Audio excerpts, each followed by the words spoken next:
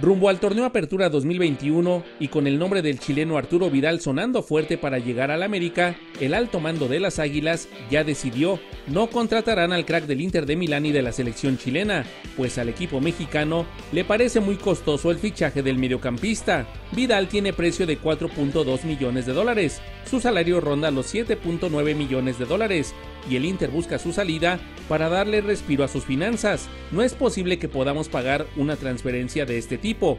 Quizá el Inter no quiera nada, pero aún así sería demasiado caro para nosotros. Vidal no jugará en el América la próxima temporada, dijo a Tuto Sport el presidente deportivo de las Águilas, Santiago Baños. Además, los 34 años de Arturo serían otro motivo por el cual el América lo descartó, pues tiene como regla no fichar jugadores que rebasen los 30 años de edad.